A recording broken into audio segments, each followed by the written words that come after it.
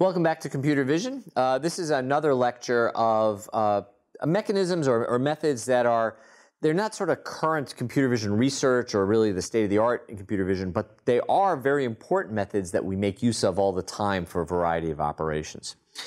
And what we're going to talk about today is really some binary image analysis.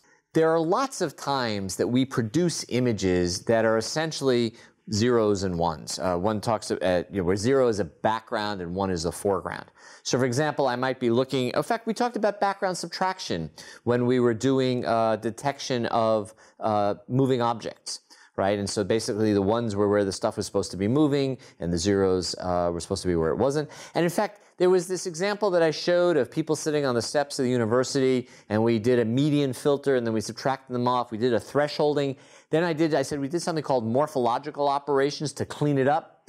Today we're doing the morphological operations. And it's often buried deep within any functioning vision system.